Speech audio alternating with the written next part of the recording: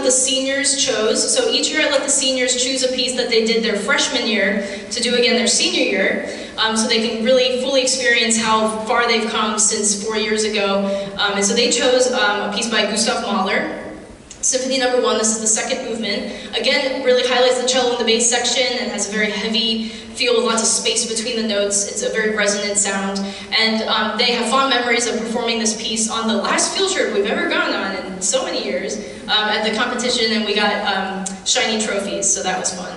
Um, so good memories of this piece. Enjoy Mahler as our conclusion to the Spring Senior Honors Concert. Thank you.